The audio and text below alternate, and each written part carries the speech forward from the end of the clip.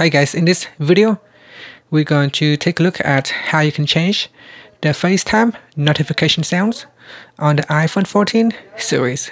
First, let's go back to the home screen by swiping up at the bottom of the screen. And on the home screen, tap on Settings. In Settings, swipe up to go down and tap on FaceTime. Next, in here, tap on Notifications. Then we go down and tap on Sounds and then in here, in the ringtones section, the default is reflection.